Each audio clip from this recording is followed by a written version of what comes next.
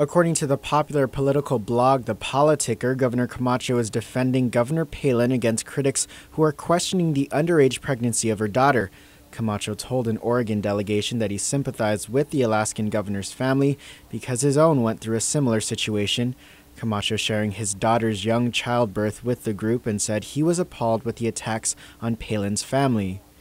Back on the floor, Palin addressed Republicans at the party's national convention in the biggest speech of her career. She touched on her family and made the case that she is ready to be the first female vice president.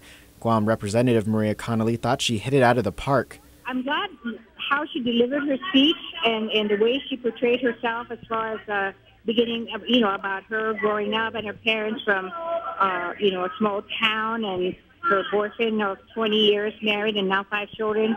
But it was really important for her to uh, tell the people, not the people in the convention hall here, but the but all the listeners, the the people watching TV, to tell the people about Sarah Palin. Connolly says that Camacho has made several stump speeches, reportedly expressing confidence in Senator John McCain's pick for VP, saying the ticket will transform the nation. And she adds, as a result of the governor's efforts, Guam has gained some international media attention. Governor Camacho was interviewed on TV uh, earlier this evening by New Zealand.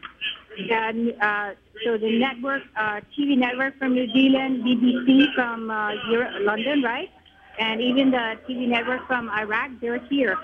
So uh, there's been a lot. The titular party head is representing over 900,000 Pacific Islanders as the head of Pacific Territories for the campaign. Phill Leon Guerrero, Pacific News Center.